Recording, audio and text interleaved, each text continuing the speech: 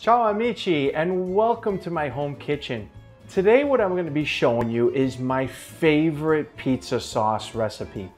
The two different varieties of sauce that I'm going to make are really um, my personal preference when I make pizzas. I'm going to show you two different ways to make it so that you can make one of these your personal favorite. This particular container is uh, 20, little over 24 ounces. These tomatoes are pureed and then they added in some coarsely chopped diced tomatoes. They're not really diced perfectly. There are more irregular chunks inside over here. I love this sauce for things like uh, my pan pizzas, um, my grandma style, like the one that's pushed very thin into a rectangular pan, or even my deep dish pizzas or stuffed pizza sauce. I love to use this variety of tomatoes for things like those. The other one that I like to use is whole peeled tomatoes. These are called pelati. I'm gonna pour all of these pelati into a bowl. Now inside of the pelati, we sometimes get a lot of juice inside over here. And if I was to break this open, you can see how much juice actually comes out from inside. I don't want to add a lot of water into my sauce because there already is the perfect consistency inside of this puree. So what I'm going to do is I'm going to kind of open these out, let some of that juice fall out. I'm just squeezing this just a little bit. And then I'm taking this tomato and just sticking them inside an extra side bowl here. I'm going to finish my sauce inside over here. And there's enough puree inside of the, uh, the container that I don't have to worry about it. But if I was to keep all of this tomato juice inside over here, it would give us a much thinner sauce. And uh, for myself, I just prefer to use this method. And then I'm just gonna break them up by hand here. We're gonna end up crushing these by hand anyway, so you don't have to make this perfect. The reason there's so much juice inside of these tomatoes is because these were picked at the prime point of their harvest or the season. So if your tomatoes were still green on the outside, you wouldn't have as much juice inside of these tomatoes. Um, these particular ones are from a brand called Mutti. Mutti is uh, a tomato that comes from Parma, Italy, and a little bit different variety. This is the, uh, the plum tomato or Roma tomato you hear this most commonly referred to, and uh, much different than the tomato that we get down south in Italy uh, from the area of Campania, which is the San Marzano. The San Marzano, again, is a different variety of these, which they also do come in the pelati form. Now that I've gone through all of my tomatoes, I'm just gonna simply take the remainder of that beautiful red puree that was inside the can, and I'm gonna add this back inside of the tomatoes. This very smooth sauce would be called passata. Passata is again tomato puree and a lot of different tomato companies sell their tomatoes in this form already. Both of these tomatoes are the same variety of tomato, the Roma tomatoes from Parma, Italy. I'm gonna get inside here with my hand. I'm just gonna take this and kind of squeeze it through my fingers. As I squeeze through my fingers, some of the maybe stringy bits will be left over and this part sometimes is a little bit tough and I don't like to have these in here. This is why I like to do this step myself. I'm gonna discard this piece here. Whatever's left that came through my fingers, the part that's the uh, seeds and all that, that doesn't bother me. I'm gonna take a tomato like this, I'm gonna press it through my fingers and I'll be able to feel that if you keep this close to the bowl, you won't have tomato juice all over your t-shirt or your apron, whatever it is. I'm gonna go through just like this and continue squeezing and I can feel again those stringy bits that are left over. This is not pulp, this is physically the inside of the tomato. This might be referred to sometimes as the way that we prepare our pizza sauce to make a Neapolitan pizza. The Neapolitan pizza sauce usually is always crushed by hand. We would never puree these with a blender or anything like that because what's going to happen is as you put these beautiful red tomatoes into a blender, it's going to incorporate a lot of air into that sauce. And then all of a sudden, you're going to go from having this really bright red sauce to something that looks a little bit more orange, and that's definitely not what we want. If you don't want to use your fingers or you say, hey, this is a lot of work to be doing uh, on my own, um, you can also search out for what's called a food mill. My grandma used a food mill for everything, including making things like mashed potatoes and um, pureeing carrots and things like that that she would be cooking using uh, as ingredients in her kitchen. We could use a food mill which has a disc with lots of little holes through the bottom and then it hand cranks and all the pulp and tomatoes would pass through until finally we've got something of this beautiful consistency. And this is exactly what I'm looking for. My sauce recipe is so simple and we're gonna season these in the same exact method at the same time. I'm gonna start out with fine sea salt. Try to find yourself fine sea salt.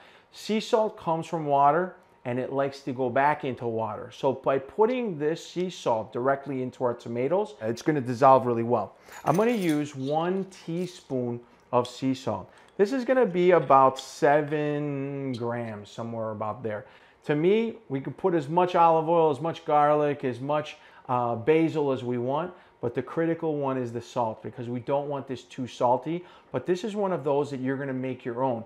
I've got an even teaspoon here of each. I'm gonna take a little sea salt, kind of knock it on the edge so that it's even. I'm not packing it in, and I'm gonna put the sea salt in just like this. The next ingredient that I'm gonna do is my olive oil. I'm using extra virgin olive oil, and the extra virgin olive oil is gonna be one tablespoon. And I put this into my sauce because it helps me when we put the sauce on top of the pizza and it bakes, I feel like it spreads a little bit smoother and it kind of acts as a little bit of a lubricant, if you will, when the uh, cheese goes and starts melting on top of it. The next one that I've got is garlic.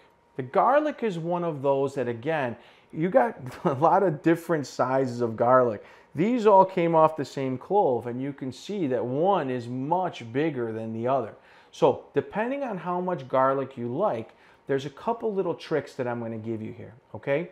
The first one, when I put garlic in the sauce, I'm going to take a whole clove of garlic just like this, and then I'm going to use the back of my palm. I'm going to give this a crack. And what that's going to do is it's going to open the garlic up, and all the essential oil that's in here, it's gonna give it a chance to kind of spread through the sauce. I'm gonna take one clove of garlic just like this, and I'm gonna drop it in the tomato, all right? The other one that I like to use is this is a really giant clove of garlic. What I'm gonna do is I'm actually gonna cut this in half because this is probably about the size of two uh, garlic cloves. I'm gonna cut this in half and the reason why I'm gonna do that, I'm gonna show you another thing that we see in the middle of this, you can see that it started to sprout the new garlic or the shoot of the garlic out, okay? This doesn't mean that the garlic is bad, but we always want to make sure that we take that bit out of here because that bit of the garlic is maybe a little bit more bitter. I'm just going to find the top of it and I'm going to pull it out. In Italian, we call this l'anima. L'anima means the soul. This would be the soul of the garlic. If you have any trouble pulling out with your finger, just take the tip of your knife just like this and you'll be able to kind of find it and then this will come out as one piece. This connects all the way to the root where this was into the ground. So all I'm going to do is just literally pull this all the way back and then all of that is out of the, the garlic. I'm going to discard this. Now, my grandma used a method that I really love and I still use this to today. If you're going to make this sauce the same day that you're going to use this, I would tell you go ahead and chop this garlic. If you're sensitive to the flavor of garlic and you just want a small kiss of that flavor of the garlic, drop your garlic in uh, the sauce on the morning that you're ready to use this. I like to let this sit in the refrigerator overnight. My dough that I always make is always going to be sitting in the refrigerator overnight, so I can do most of my heavy uh, prep work on the same day. Make your dough, make your sauce, put everything away in the refrigerator, then on the next day, come back and you're ready to build your pizzas. What I'm going to do is, my grandma would take just a paring knife like this, and then I'm going to make these just little tiny slits through the garlic here. If you don't feel comfortable using a paring knife, I have this paring knife in my hand where I'm kind of gripping it and then on my uh, on the blade, I can control the cut with my thumb. I'm gonna bring this around and do it down the middle. I'm just gonna keep making these small little slices, okay? If you're not comfortable using this, go ahead and put this on your cutting board. I'm just gonna make these little slits all the way down. Once I have the slits made, I'm gonna turn these sideways and I'm gonna make these little slits the opposite way. If you wanna chop these even smaller or finer, go ahead and do that as well. And this is about the equivalent of one clove of garlic. I'm gonna go ahead and just pour this inside of my sauce. The chopped garlic is always gonna give us a heavier garlic flavor. If you love garlic, this is the way that I suggest that you do it. If you want a more balanced garlic flavor, go ahead and crack the garlic with the back of your hand and drop it in the sauce like this. The last bit that we have to do is our basil. And to me, this is my favorite part of my pizza sauce. A lot of people don't do the basil or dry herbs or anything in the sauce up front. A lot of times people will choose to add dry herbs and basil directly onto the pizza that they're making because overnight those ingredients, those herbs will get even more powerful. They'll start to bloom inside the sauce just as we did the garlic. If you're one of those people that doesn't like a really heavy flavored sauce with a lot of those herbs, I would suggest to you stop at this point and maybe even don't even do the garlic step at all. Just do the sea salt and the extra virgin olive oil and we're going to be really good. I will tell you, however, though, I do love to put the, uh, the basil. This is basil right out of my garden. I've got three beautiful, just regular, about the same size leaves of basil. And what I'm going to do is I'm going to take three leaves, smash them with my hand, and what that's going to do is it's going to bruise this basil. And just like the essential oil from inside of the garlic, as soon as I open my hand, I've got that beautiful fresh aroma from the basil. It reminds me of summertime in the garden, right? And then I'm just gonna take this and kind of just hand tear these just like this into the sauce. We don't have to chop them up. I actually prefer not to chop them up. I like to use this hand method of tearing because more of that flavor will come out and the basil leaf will stay nice and green. It won't look black or disintegrated when it's all done. This is all I'm going to put into my sauce, okay?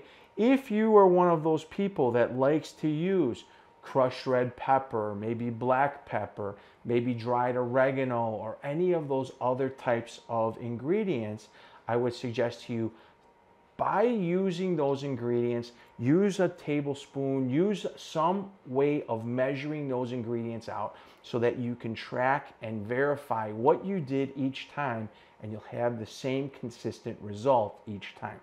Now, the last part, we're just gonna take a spoon and I'm gonna give this a stir. What we're trying to do here is make sure that the olive oil is blended into this sauce. We're also going to make sure that that sea salt that we ended up putting in here is going to be dissolved and we're not going to get somebody biting into their sauce or their pizza and get a big mouthful of salt or a big mouthful of uh, oil, anything like that.